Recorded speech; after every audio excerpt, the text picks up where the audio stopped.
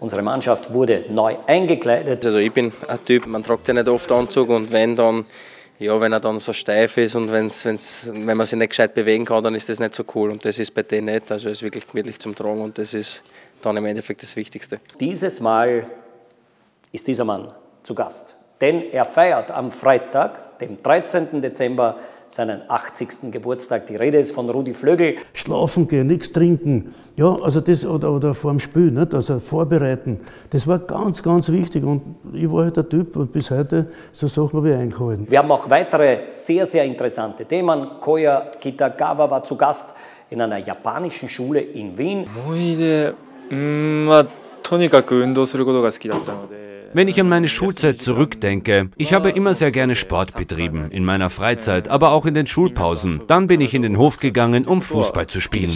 Kommender Freitag 19.15 W24, die Rapid-Viertelstunde oder auf www.w24.at. Wir freuen uns.